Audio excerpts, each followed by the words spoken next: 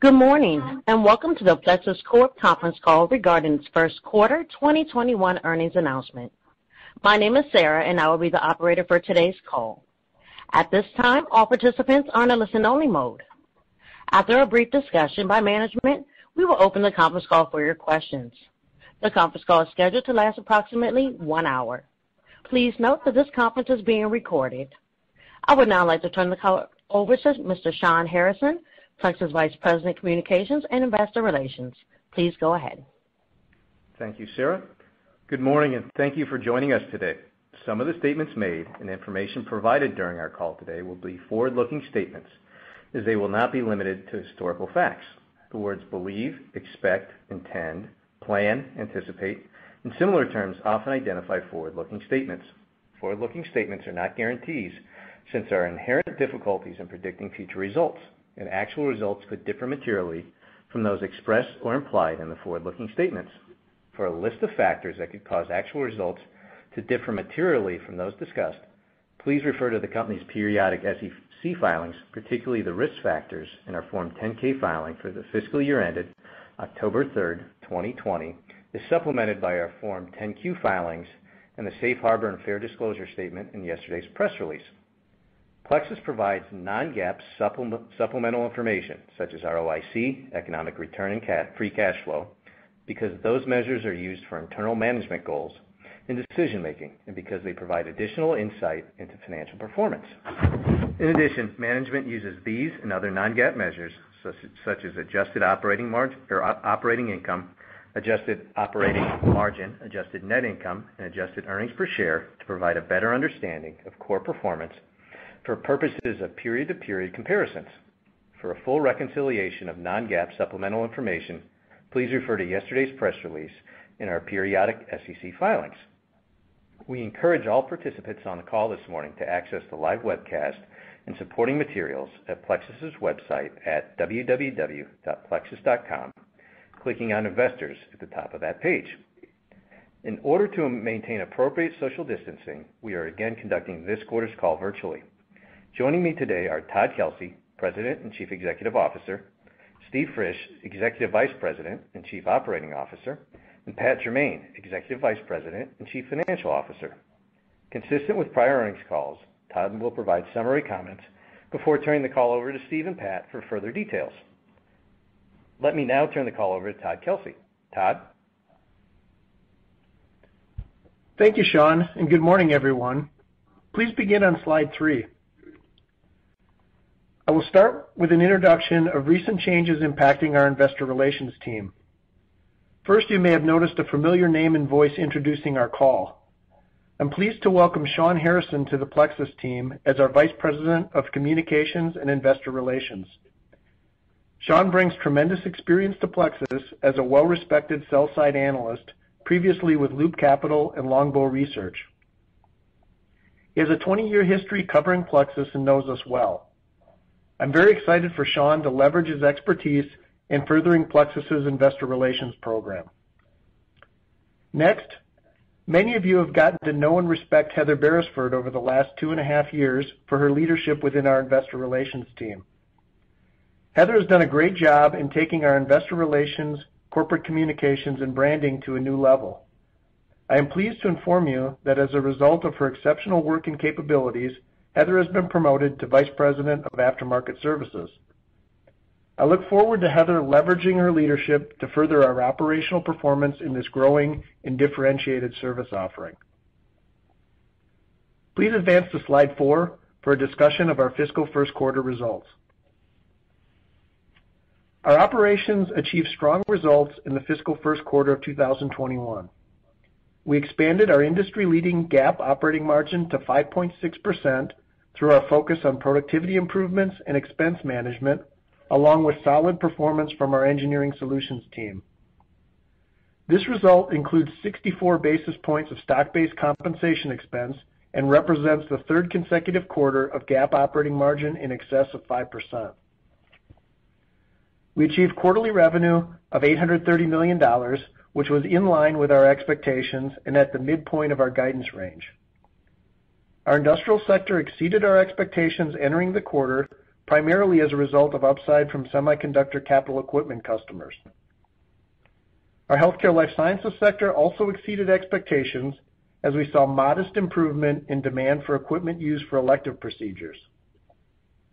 Finally, aerospace and defense underperformed to forecast due to the impact of COVID-19 on commercial aerospace and program ramp delays.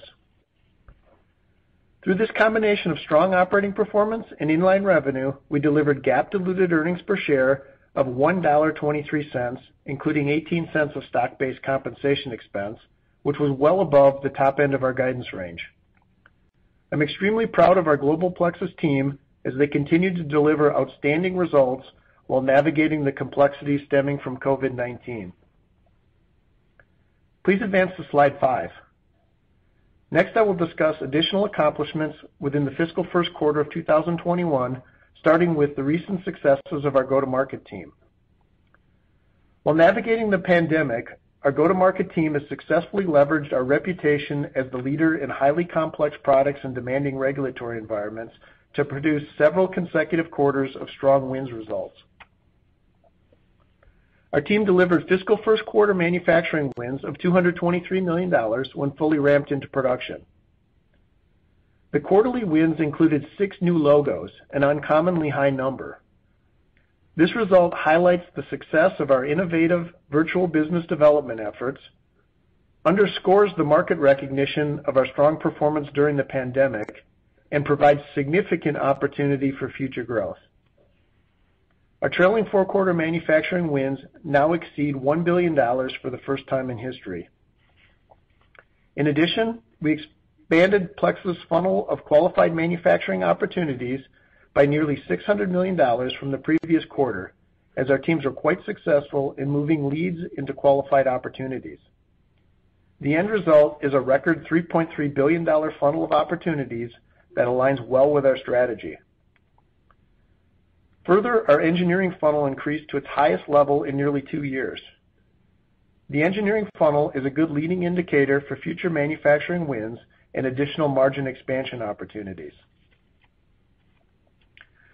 Our healthy rate of new program wins and the considerable expansion in the funnel of qualified manufacturing and engineering opportunities should position us well to achieve our 9%-12% revenue CAGR goal over the longer term. Next, turning to some operational highlights.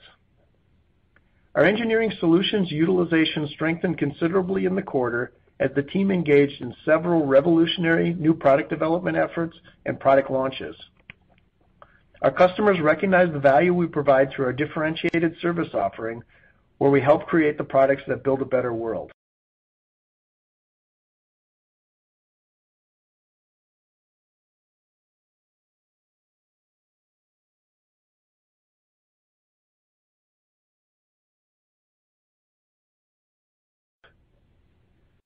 Our engineering solutions team remains a strong contributor to Plexus' profitability and manufacturing growth.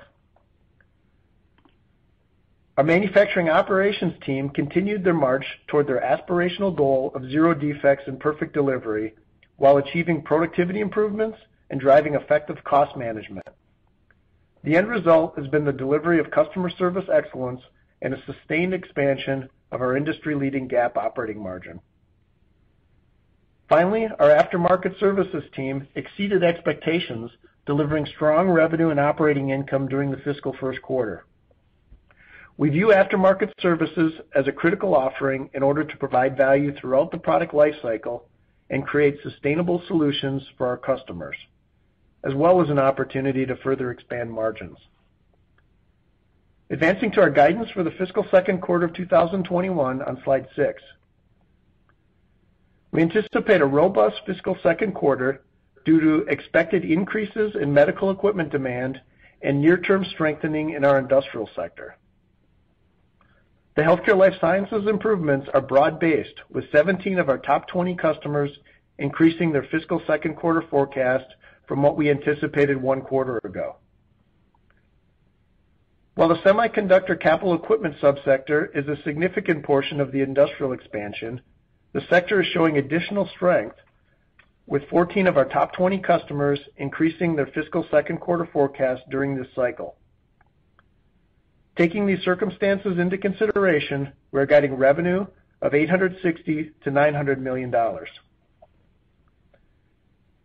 As a result of effective expense control and the efforts of our operations team in driving sustainable productivity gains, we are guiding GAAP operating margin in the range of 5%-5.5%, including 73 basis points of stock-based compensation expense. With this strong performance, we anticipate delivering GAAP diluted earnings per share of $1.17-$1.32, including $0.22 of stock-based compensation expense. Our guidance assumes that COVID-19 will not materially impact end markets or our operations beyond what has already occurred. I will close with a few thoughts regarding fiscal 2021. In the near term, we have seen demand strengthening across several of our end markets, resulting in an improved revenue outlook for the fiscal second quarter. Long-term visibility into end markets remains limited, yet our history of strong execution provides the opportunity to continue to capture any potential upside demand that may arise. Looking to the second half of fiscal 2021, based off current customer forecasts, we anticipate quarterly revenue relatively consistent with the fiscal second quarter guidance range, and operating margin to moderate from the fiscal first quarter result. Our ability to manage changes in demand, our ongoing focus on productivity improvements, and our robust first half outlook has positioned Plexus to drive strong EPS growth for fiscal 2021. I will now turn the call over to Steve for additional analysis of the performance of our market sectors and operations. Steve? Thank you, Todd. Good morning.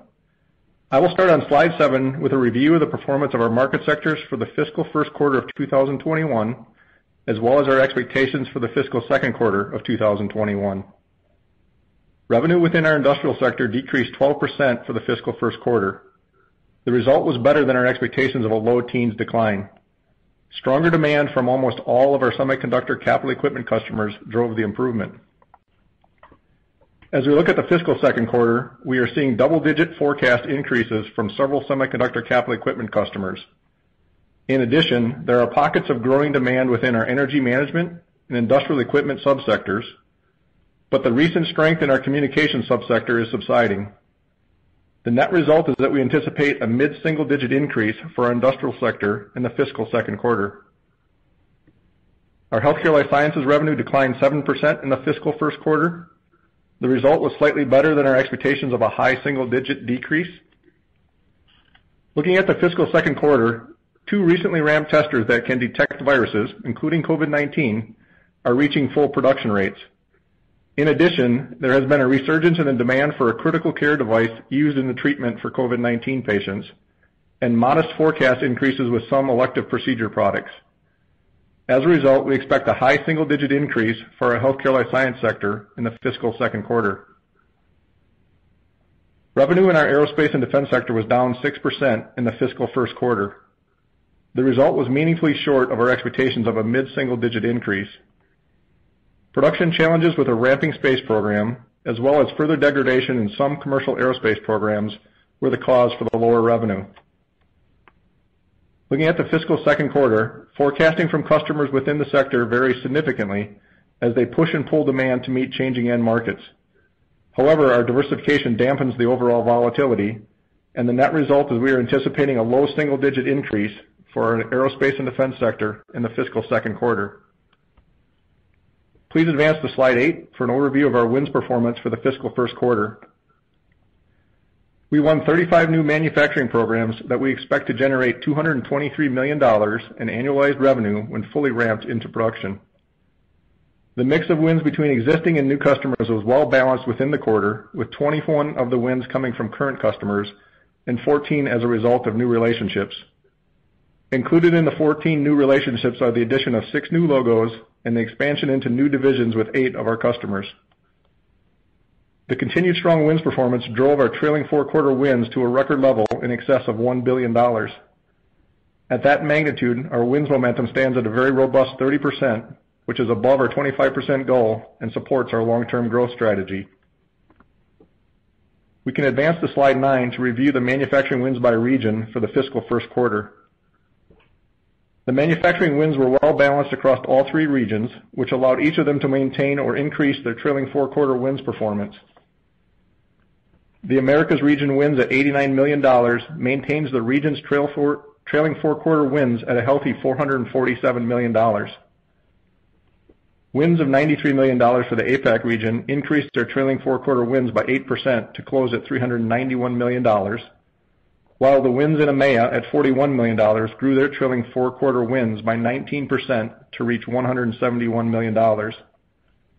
The balanced wins performance supports each of the region growth goals over the long term. Please advance to slide 10 for further insight into the manufacturing wins performance by market sector.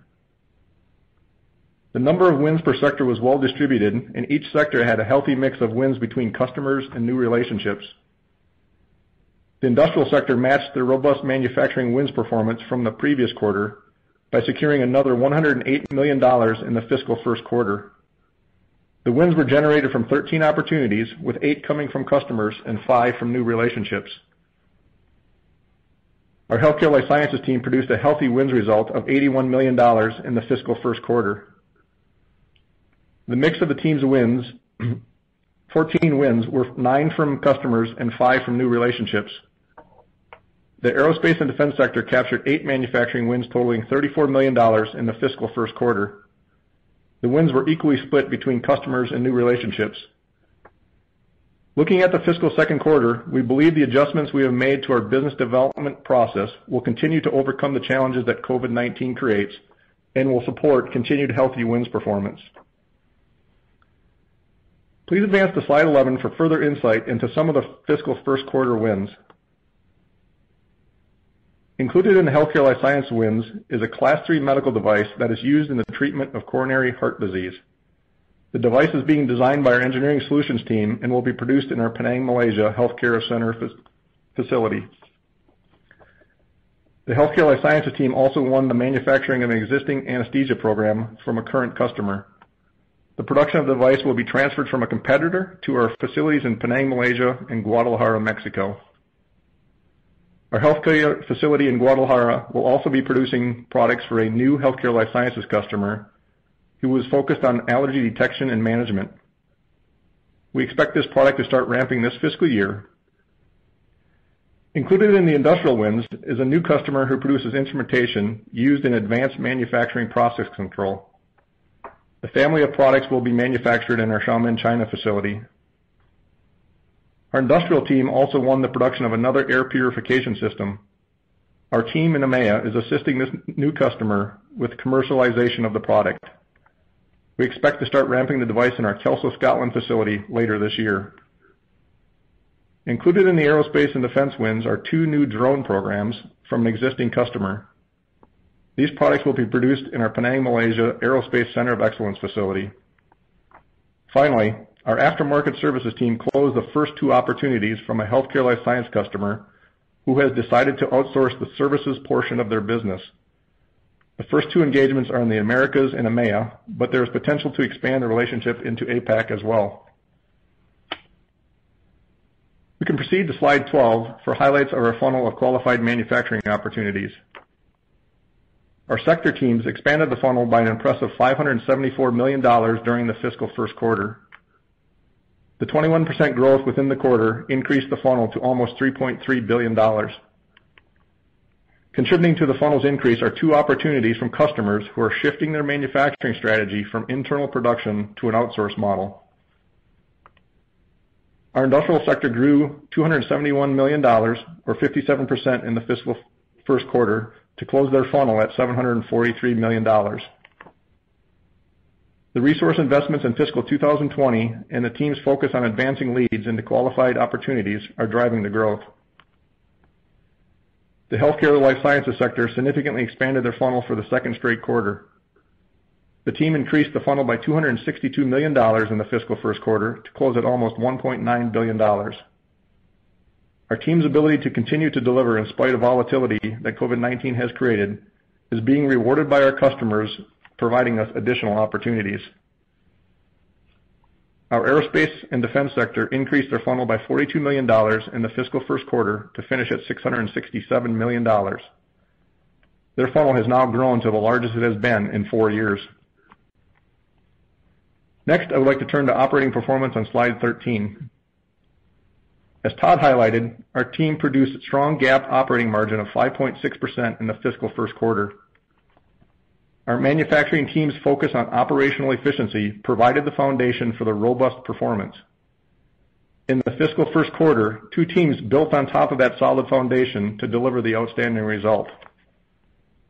Our aftermarket services team did an exceptional job of aligning investments with revenue growth, and our engineering solutions team worked tirelessly through the holiday season to meet customer demand. Both of these activities contributed to us outperforming our original operating margin expectations. As we look to the fiscal second quarter, we expect our strong operational performance to overcome our typical seasonal headwinds to deliver strong GAAP operating margin in the range of 5%-5.5%. The team delivering this result would mark the fourth straight quarter of GAAP operating margin in excess of 5%. A few final comments. I talk regularly about the path to success being relentless focus on operational excellence and customer service excellence. There will always be opportunities for improvement, but I am proud of the Plexus team for pushing themselves and each other to fulfill on these commitments. It is their passion for excellence that produced the strong fiscal first quarter results and enabled a healthy fiscal second quarter guidance. I would like to thank each of the Plexus employees for their dedication to continuous improvement. In addition to making Plexus a better company, you are truly making the world a better place. Thank you. I'll now turn the call to Pat for an in-depth review of our financial performance. Pat? Thank you, Steve, and good morning, everyone. Our fiscal first quarter results are summarized on slide 14. First quarter revenue of $830 million was at the midpoint of our guidance, while gross margin of 9.5% hit the top end of our guidance. Better than expected gross margin primarily related to an improvement in business mix and our focus on expense management. We delivered better performance from our higher value-added services, which include engineering and aftermarket services. Gross margin also improved due to lower than anticipated spending related to healthcare costs and travel expenses. Selling and administrative expenses of $32.4 million were favorable to our guidance and $6.4 million lower than the fiscal fourth quarter. The majority of the sequential decline related to a reduction in incentive compensation expense. In addition, we recovered $2.3 million of a previously reserved customer receivable. This recovery had been contemplated in our first quarter guidance. Our GAAP operating margin of 5.6% was above our guidance due to a combination of improved gross margin and lower SG&A spending. This is the third consecutive quarter with operating margin above 5%. Non-operating expenses of $5.2 million were slightly above expectations as a result of foreign exchange losses. GAAP diluted EPS of $1.23 was above the top end of our guidance range, primarily due to the strong operational performance. Turning now to our cash flow and balance sheet on slide 15. As anticipated for the fiscal first quarter, we made investments in working capital. We delivered $7 million in cash from operations and spent $16 million on capital expenditures, resulting in negative free cash flow of $9 million, which was in line with expectations. During the fiscal first quarter, we purchased approximately 307,000 shares of our stock for $22.8 million at an average price of $74.16 per share. We completed the $50 million program authorized in 2019 and commenced purchasing shares under our new program authorized last year. This program totals $100 million and has approximately $83 million remaining under it. We expect to execute the repurchases on a consistent basis throughout fiscal 2021 while taking market conditions into consideration. At quarter end, cash totaled $357 million, sequentially lower by $31 million, due in part to our investments in working capital, capital expenditures, and our expanded share repurchase program. Total balance sheet debt of $337 million was consistent with last quarter. At quarter end, we had no outstanding borrowings under our revolving credit facility, therefore allowing us the full capacity of the $350 million committed facility. We ended the quarter with a conservative gross debt to EBITDA ratio of 1.4x, slightly improved from last quarter. With our exceptional operating performance, we delivered return on invested capital of 16.3%, sequentially improved by 230 basis points, and the highest return delivered in more than three years. This result generated economic return of 820 basis points above our weighted average cost of capital, creating substantial shareholder value. At quarter end, we were pleased with our cash cycle, which came in at the low end of our guidance. With a result of 80 days, our cash cycle was sequentially higher by 11 days. Please turn to slide 16 for details on our cash cycle. While inventory dollars were essentially flat compared to last quarter, inventory days rose by eight. The increase in days primarily related to reduced fiscal first quarter revenue. In addition, we procured inventory toward quarter end as we prepared for higher revenue anticipated in the fiscal second quarter. Days in receivables were 53 days, sequentially higher by five days. The increase was primarily due to a few delays in customer payments and a reduction in receivables sold under our customer factoring program. Partially offsetting the higher inventory and receivable days were modest improvements in both our payable days and customer deposit days. As Todd has already provided the revenue and EPS guidance for the fiscal second quarter, I'll review some additional details, which are summarized on slide 17. Fiscal second quarter gross margin is expected to be in the range of 9.5%-10%. At the midpoint of this guidance, gross margin would be approximately 20 basis points higher than the fiscal first quarter. Seasonal compensation cost increases, as well as the reset of payroll taxes for U.S. employees, will negatively impact gross margin by approximately 50 basis points. However, we expect to more than offset this impact through continued operational productivity and better leverage of expenses with the anticipated higher revenue. For the fiscal second quarter, we expect SG&A expense in the range of $38 million-$39 million. At the midpoint of our revenue guidance, anticipated SG&A would be sequentially higher by approximately $6 million. As a percentage of revenue, SG&A would be 4.4%, which is 50 basis points higher than the fiscal first quarter. Several factors are contributing to the sequential increase in SG&A, including the seasonal compensation headwinds, which total about $1 million. With improving operational performance, we anticipate higher incentive compensation expense this quarter, and as I mentioned earlier, last quarter's SG&A benefited from the $2.3 million customer bad debt recovery. Fiscal second quarter GAAP operating margin is expected to be in the range of 5%-5.5%, which includes 73 basis points of stock-based compensation expense. A few other notes for the fiscal second quarter. Depreciation and amortization expense is expected to be approximately $15 million, which is consistent with the fiscal first quarter. Non-operating expenses are expected to be in the range of $4.6 million-$5 million. At the midpoint of this guidance, these expenses would be approximately $400,000 lower than last quarter, primarily due to the expectation of a reduced foreign exchange losses. We are estimating an effective tax rate of 12%-14% and diluted shares outstanding of approximately 29.5 million shares. Our expectation for the balance sheet is that working capital investments will remain relatively consistent with the fiscal first quarter. Based on our revenue forecast, we expect this level of working capital will result in cash cycle days of 74-78 days. At the midpoint of this guidance, cash cycle would improve four days compared to the fiscal first quarter. Finally, our capital spending estimate for fiscal 2021 is expected to be in the range of $70 million-$85 million, which includes approximately $24 million related to our expansion in Thailand. For the full year, we continue to expect free cash flow generation of approximately $100 million. With that, Sarah, let's now open the call for questions. Thank you. To ask a question, you will need to press star then one on your telephone. To withdraw your question, please press the pound key. Please stand by while we compile the Q&A roster.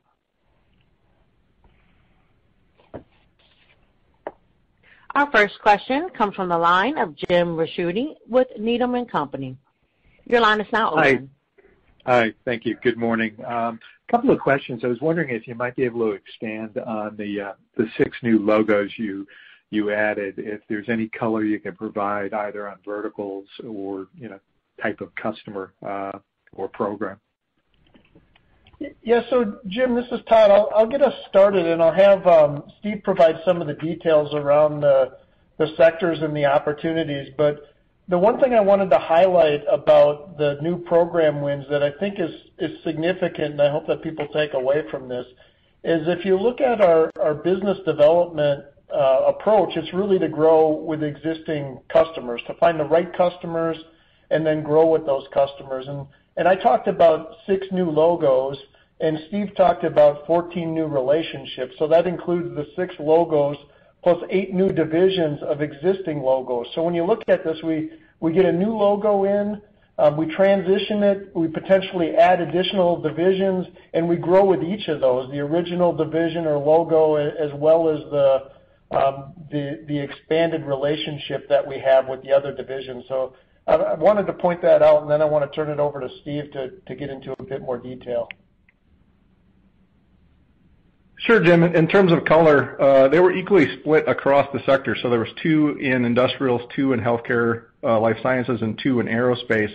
And some of the wins details that I went into highlighted some of them. The anesthesia program that I talked about in healthcare was one of them.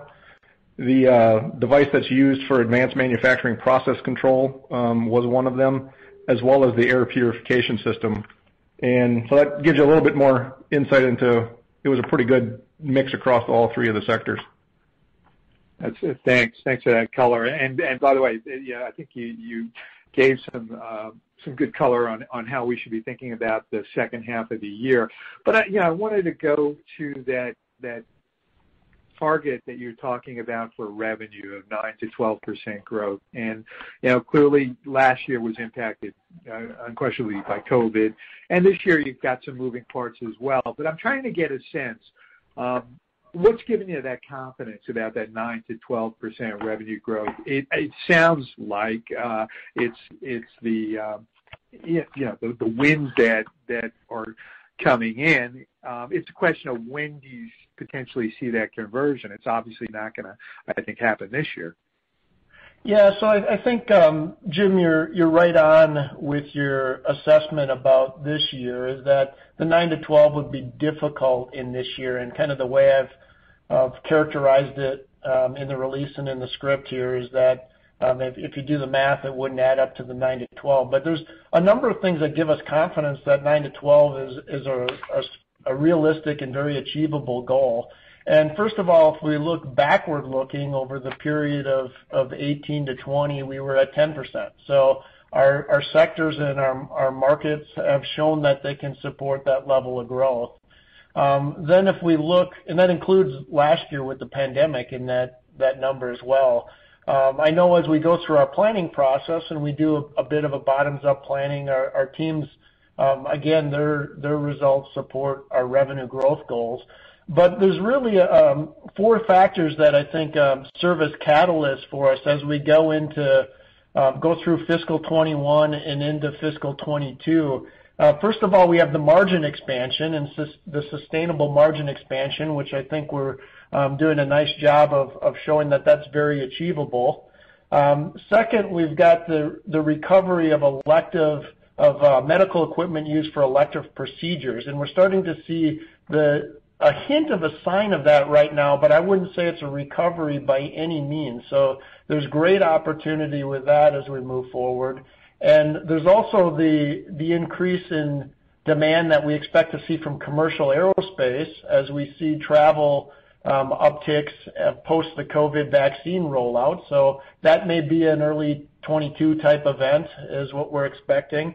Then we have the new program ramps. And you saw the the win success that we've had, the over $1 billion trailing uh, four-quarter funnel that we have. We've talked about some of the exciting new programs that have been long-term ramps within our healthcare life sciences sector. These all come to fruition in in the FY 2022-ish type timeframe here. So we've got a number of catalysts that are looking really good for us as we as we get beyond or get go through fiscal 2021 and get into fiscal 2022.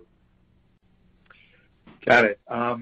Just on commercial air, could you just remind us um you know what that's representing right now of the A&D or maybe just historically what it was And then? I'll jump back in the queue. Thank you.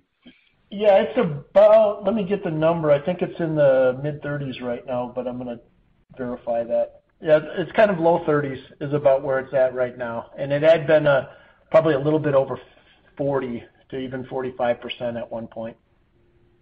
Yeah, that's that's of Plexus. Of the sector, it's about roughly a third. Got it. Thanks very much, and congrats on the quarter. Thank you. Thank you. Our next question comes from the line of Adam Tindle with Raymond James. Your line is now open. Okay, thanks. Good morning, and congrats to Shawn and Heather. Todd, I just wanted to start uh with some questions around the second half comments where revenue's relatively consistent with the fiscal 2Q guide. Just maybe the biggest drivers of why we would see effectively flat sequential uh trends in Q3 and Q4, because we normally expect to build up each quarter, see it up sequentially on a seasonal basis. Sounds like towards the end of the quarter, medical and industrial uh saw recent strength. You've got new customers coming on. So what would be the offsets that I'm missing to make Q3 and Q4 effectively below normal seasonality? Yeah, I think the issue, Adam, is that the visibility is just fairly limited right now. So, I would say it's more of a situation as we're just not sure, or we just don't know. And um if you think back to a quarter ago when we had our call, we expected Q2 to be flat to Q1. I mean obviously, it's not. It's up substantially on the order of about $50 million. So we saw a lot of upside demand come in, particularly around the healthcare and in the industrial sector. So um as we as our customers brought up forecasts, they just brought them up in the near term and not necessarily further out. So I'd say there's a lot of uncertainty to us as whether we're going to see something similar as we move through the rest of the year or or whether we won't. But based off of the visibility we have right now, it looks more like flat at this time. Um but I think in some sense, we're a little bit of a victim of our success from an execution standpoint because our our customers feel comfortable that they can drop in demand, and we'll execute on it. Right. That's understandable. And just to clarify, does that also mean that operating margin would kind of stick in that 5%-5.5% range that was guided to Q2? Yeah, it's a little it's a bit uncertain. I mean I think obviously we're targeting to be above the 5% range, but it's it's a bit uncertain based on the revenue and the leverage that we get. So it's a little too early to call that one. Okay. And uh just maybe a longer-term question. You talked about the record over $3 billion funnel. You talked about committed to the 9%-12% long-term revenue growth. Just trying to understand, uh you know, does that imply you know, potentially a supersized growth year in fiscal 2022, such that the average of 2021 and 2022 can be in the 9%-12% range? Um so maybe just help with expectations on timing and magnitude of what seems like a pretty big growth uptick upcoming. Sure. This is Steve. I'll try to handle that one. Obviously, trying to give guidance up to 2022 would be a bit challenging, but looking at the market dynamics of where we're at, which gives us some optimism, is we we look at commercial aerospace, and you know, we're strong in there. We've gained market share. Um, we've talked about the fact that we've been bouncing around the bottom, and we we see this down. And so we see that as a catalyst for growth um, in terms of what could happen into 2022 as things start to recover. Um, we've talked about the you know, elective procedures in healthcare life sciences. We believe we're continuing to take market share. We're winning new logos, and you know, we think there's a catalyst there to, to help Uh, accelerate some growth as we you know as things start to recover um, post-COVID. And then we've talked for the last couple calls, talking about industrial team and semi-cap, and um, with semiconductor capital equipment, um you know the signals are out there that demand for uh, semiconductor equipment or equipment and devices is is only going to increase over time. And looking at our forecast and Todd's kind of comments is, you know we see these flattish kind of forecasts, and then we see the short-term drop-ins. I think at some point, there's a potential for that to turn into real forecast demand. And so um you know the optimism of the 9%-12% is driven by those types of factors, combined with the fact that we you know we continue to win decent amounts of new business. And so uh I think that's why we're optimistic about the growth. Could it outperform? I think if if the economy takes off and all these things start to recover post-COVID, um, you know, I think there's a real chance that demand from our customers continues to increase at a pretty good clip with it. That's helpful. Thank you very much. Thank you. Our next question comes from the line of David Williams with Loop Capital. Your line is now open. Oh, great. Thanks uh, for letting me ask the question. First, congrats to Shawn for the uh, transition. Uh, First, I wanted to ask maybe about the 2Q demand, and do you think that we're seeing any pull-in maybe from some of the second half demand? Um, or is this mainly just the drop in in the early demand or the short-term demand? Yeah. Go ahead, Steve. Yeah. I mean specifically with the Q2 upside, it is upside that's not robbing from future quarters. So our forward-looking quarters have stayed consistent and actually have come up a bit. And so it is upside demand. It's not stealing from future quarters. And as Todd kind of highlighted, you know, one of the things we're looking at is, are we going to see this as a trend as we go through Q2, Q3, and Q4? Um, it's just something we're watching. Okay, great.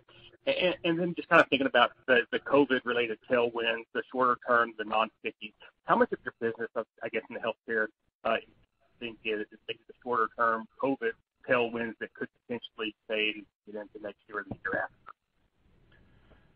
Yeah. So um, right now, there's not um, a lot beyond testing and point-of-care testing that I would call a true COVID tailwind, where the demand is up as a result of COVID. Now, we see um, that demand is progressing or continuing at least through calendar 2021, and even our customers are talking about it going beyond that in in through 2022. One thing to point out, too, I mean we call them COVID testers a lot, but what they are is they're testers that that can be used for COVID, so they can test many other things as well, too.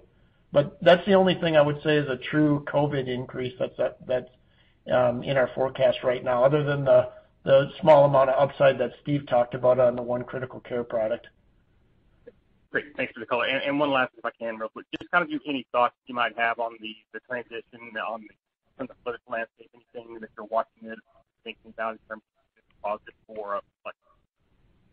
Yeah. So um I mean the one thing we're looking at is is on the demand side. Um, I would say there's a few different opportunities that could come up as a result of the um, proposed stimulus that's out there. Uh, um, we have some heavy equipment business. Um, I think some of the COVID uh, products could uh, increase even further from a demand standpoint. Um, certainly, I think it bodes well for semi-cap as well, too. Um, the other thing we're looking at on the other side of the equation is what happens with the tax landscape, and does that have any impact? Great. Thanks so much. That's a lot. Thank you. Thank you. Our next question comes from the line of Matt Sheerin with Stifel. Your line is now open. Uh, yes, thanks. Uh, good morning, everyone. Um, just a question um, regarding um, the product or the uh, component and supply chain environment right now. You talked about inventory days up, Pat. We're hearing across the board of supply constraints uh in certain semiconductors, in some passive components. Are you seeing that yet, and are your customers asking you to build inventory? Yeah. So Matt, this is Steve. I'll take that one. First of all, there's a lot of news out there about the automotive market having shutdowns due to semiconductor shortages. And just want to remind everybody, um we don't do automotive. So in terms of our end market impact, there's there's nothing there. Now, specifically, what's causing those challenges in automotive is a tightening in semiconductor um, components, and we are seeing some of that. Um, we don't foresee any issues here in the fiscal uh, second quarter. Um we're from an inventory standpoint and that, we we feel pretty comfortable where we're at. We do start to see lead times start to extend, um, a little pricing pressure here and there. It's definitely real from our perspective. I feel actually pretty comfortable where we're at. You know, our teams definitely have to work harder through these periods, but it's at these times is when our teams have outperformed. And so I'm I'm pretty uh, optimistic in terms of uh, what our teams will be able to do. Um, the one part that I get a little nervous on is looking at those forecasts as we go into the back half of the year. Um, if our customers start dropping in big demand, um, our ability to react and bring things in is really kind of the bigger challenge. And so we have been talking to our customers about inventory levels and what we're comfortable um, storing. Now, keep in mind, our customers are responsible for the inventory levels. Um, Plexus doesn't speculate. So um from our standpoint, it's it's really just working through with our customers where they need to be. And and we do have some we do have some customers that have increased raw component inventories um, to be able to respond to upside demand in the back half of the year. Uh, again, it's a mix with each customer, but it is eh, we do see it coming a bit more. But I think we're responding appropriately, and at this point, the teams are handling it really well. Hi, Matt, this is Pat. On the balance sheet, I just want to comment for the second quarter, we do expect a slight build in inventory dollars to the tune of about $20 million. But I had guided the midpoint of our cash cycle being down compared to the fiscal first quarter, and some of that's driven by inventory days just because of the increase in revenue we expect in the second quarter. Got it. Okay, thanks for that. And then I did want to follow up on the previous questions just regarding your guidance for uh, the next quarter and then for the year. Um, as you said, a little bit different than you saw a quarter ago. But when I when I add uh, the numbers, you know, the revenue, I don't think consensus for fiscal 2021 is going to change much. Um, you're going to be looking at obviously tougher comps at the back half when you had a really, really strong um, last um, September quarter. But it sounds like the setup for 2022, as Adam uh, indicated, uh, is good. I guess my question is, should should we start thinking about um, a return to that uh, 9%-11% uh, revenue growth target? And in terms of margins, I know that in the past when you've had some really big ramp-ups quarter to quarter, there's been some cost and some some margin uh, headwinds. So so how should we think about you know, growth versus the margin in the mix of the business? Yeah, I think um, maybe I'll start with 2022, and then there's a couple other topics I want to hit as well. But um I mean certainly too early to talk about 2022 and give any sort of of guide or color, but I think it's setting up to be a really good year. When you look at the the factors and the catalysts that I talked about earlier, I think that, that's quite good. And um I mean kind of backing up to 2021, I mean I would say, well, while it's not 9%-12%, it still sets up to be a pretty good year or um, a growth year from a revenue standpoint. But the EPS leverage, I mean you start to do um, the math on that, looks pretty good. Um so I think that's a compelling story for um, for fiscal 2021. Matt, you mentioned margin headwinds with transitions. We always have those transitions going on, so I wouldn't say that's necessarily impacting margins. We do have the Thailand facility that's going to be ramping up, and it typically takes a few quarters before a new site reaches corporate averages. Um and then the other item we're watching is travel expenses. They've been obviously very depressed, and we expect some return at some point, but I don't think we'll get back to the levels we were at pre-COVID. So uh monitoring that, that could be a slight headwind for us. Okay, great. And just uh, just last quick question, um, just regarding costs. Pat, you didn't call out a COVID-related uh, cost. Um, is that just sort of embedded in your in your model now, um, or do you see any changes there? Um so for the first quarter, it was around $2 million. So it's starting to taper down. We do expect expenses in the latter quarters, probably to the tune of $1 million-$1.5 million. Um, when you look year-over-year, last year, fiscal 2020, we had about $10 million. This year, we would think that's about $6 million. So about $4 million lower there.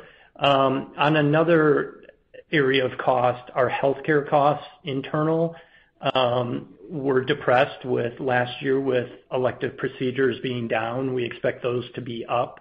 And that pretty much offsets the benefit we're seeing from a COVID Uh, expense reduction. We expect healthcare costs to be up about $4 million this year. So Net-net, those are pretty flat. Okay. That's helpful. Okay. Thanks a lot. Sure. Thank you. Our next question comes from the line of Steven Fox with Fox Advisors. Your line is now open. Thanks. Good morning. Um, just two questions from me, if I could. First one on the uh, funnel expansion. You mentioned some decisions by uh, some customers to move to outsourcing. Could you expand on what drove that decision, um, whether it was something that was already in the works or maybe if there was a change in thinking due to circumstances? And then I had a follow-up. Yeah, this is Steve. In some of these challenging times, I think customers do question their supply chain strategies more. And so I think the conversations we're having right now are things that customers were considering, but I think the COVID situation is pushing them to to move a little bit quicker. Um, Not a big strategic shift on I mean a big strategic shift on their part, but I think the timing of COVID is just helping expedite things. And and those shifts would be done with um you like their current facilities would be utilized by the customer, you'd be outsourcing into your existing facilities, like their strategy around their own plant and equipment is what? Yes, they would exit their facilities, and we would do that one of two ways. One is either to just move the facility uh, entirely um, at the moment that they exit it, or do what we call a manage in place, is where we'd manage it for 18 months, 24 months, and then transfer it. Um, under a rare circumstance, if there's a strategic uh, uh, alignment, would we you know, consider a facility? Yes, but that would be under a very strategic decision. Thank you. And then just on the um, new logo wins, can you just talk about the competitive environment around those six wins? How much of it was um you know due to just sort of where you guys play versus maybe seeing competition from small or large uh um EMS providers? Yeah, the competitive environment is about the same. I mean we run into the big guys all the time, and there's always smaller players involved as well. And so I don't think with these situations or with COVID, there's been a big fundamental shift in uh, in the competitive landscape. Um, although we are seeing a little bit more, I'd say, pricing um, diligence and a little bit discipline, and so that's refreshing to see. Thank you. Thank you. Our next question comes from the line of Paul Coster with JPMorgan. Your line is now open. Uh, yeah, a couple of quick ones. It sounds like the uh, sales team, the biz dev team, are working pretty well in the virtual world. Uh, do you see that changing as we come out the back end of the pandemic? Are you going to go back into a T&E mode, or do you think you found a new way of developing the business without that expense? And I have a quick follow-up. I think, um I mean certainly our business development people, Paul, are looking to get out on the road and looking to get out in front of customers. I mean, to be candid, I'm looking to get out in front of customers more myself. Um so I think you're going to see travel go up. But I do also think that I don't think it's going to go up quite to the same level that it had been in the past. I think people are feeling or understanding that um there are there are things that can get done virtually. You can be effective virtually. Our branding and communications team just did an excellent job of creating a great virtual business development environment that I think is um is really unique, that's helping us. But there's still nothing like having a customer in your site to to see it firsthand. So um so I'm sure certain that there'll be more movement once it uh becomes a better environment uh with the vaccine rollout and such. But maybe not. And then is there anything Yes. Um, is there anything in the uh, change in the administration in Washington, uh, D.C., that um, changes anything for you? Yeah. Well we've talked about there's um maybe I'll talk about um, markets, and then Pat can talk a little bit more about other uh, factors. But markets, there's a few, and I think it kind of comes back to what happens around stimulus and where's the focus Uh, of where dollars are spent. So I think um you know our heavy equipment business in our industrial sector could benefit. Our energy business in our industrial sector could benefit. Um, I think the COVID, particularly around test, um, could benefit from a market standpoint, um, and semi-cap is potentially only going to get stronger. So maybe I'll pass off to Pat too for some comments. Sure. I mean from a tax perspective, Paul, we're watching it closely. Obviously, there's been discussion around increasing the corporate rate and also the offshore earnings tax rate, uh, which would impact us. But we'd want to understand if there's any potential credits that could uh, mitigate some of that increase. Our tax team is closely monitoring it, so we'll just have to see where it falls in a priority with the new administration. Got it. Thank you very much. Thank you. Our next question comes from the line of Anja Soderstrom with Sidoti & Company. Your line is now open. Hi. Thank you for taking my question. Congrats on a great quarter, and congrats, Shawn and Heather. Uh, a lot of good questions asked already, but I just wanted to uh, get a sense more of your revenue guidance for the second half. You say it's sort of going to be in line with the fiscal second quarter expectations. Does that assume um, that elective still stays uh, sort of uh, suppressed, so that could be a surprise upside in the second half, comes back uh, more fully? Um, yeah, it does. I mean basically, it looks at the environment as being more or less what it um what it is today. Perhaps even, maybe call it a little softer than what we're seeing for the fiscal second quarter, because we saw a lot of drop-in upside demand that impacted the second quarter that doesn't necessarily impact Q3 and Q4 at this point. So um so there's a lot of potential, I think, for for opportunities within the second half. It's just our visibility says it's it's flat to Q2 right now, more or less. Okay, thank you. And I think you discussed a little bit already about the gross margin and and ramping new new projects might be pressing that because you you're guiding to quite you had a good performance this quarter, and you're guiding for the second quarter to to remain relatively high. So how should we think about that going forward? Yeah. Go ahead, Pat. Yeah. Well, I was going to say, as Todd said, I mean, we're uh from an operating margin standpoint, uh we've been really pleased with the last three quarters. So hitting 5% or above would be our target. Um expenses we're we're kind of monitoring, Anja, would be travel expenses and healthcare costs. Um, those are things that could be potential headwinds for us, but um trying to achieve that 5% or above would be our target. Yeah, and we don't see really a significant drag from new program ramps in the future. I mean we're you know, somewhat always ramping new programs, and we think the leverage we can get from the other business can offset the costs or the inefficiencies of new program ramps. Okay, thank you. And then lastly, um, in the Army and Defense this quarter, you alluded to some issues with ramping new programs um, causing the shortfall there. Can you just elaborate on that and uh, talk about how that's going to fit in the coming quarters? Sure. The space program I mentioned um, had some delays in the ramp. And as you can imagine, programs that are going into outer space, um, there's a lot of stringent requirements. And from a manufacturing process standpoint, Uh, we're working with a customer on some uh, strengthening of those requirements, and it slowed down production. We believe we've worked through those, um, and have alignment with the customer on what the requirements are. And so I wouldn't expect it to impact it going forward. Okay. Thank you. That was all for me. Thank you. Thank you. There are no further questions at this time. I would now like to turn the call back to Mr. Todd Kelsey, CEO, for closing remarks. All right. Thank you, Sarah. Um, I'd like to just start by giving a shout-out to our Plexus team members globally and thank them for all their hard work. They continue to perform exceptionally well despite challenging circumstances that are around us today. And again, thank you to everybody who joined our call today. We certainly appreciate your support and your interest in Plexus.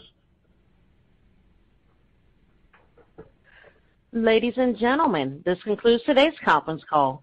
Thank you for your participation. You may now disconnect. Everyone, have a great day.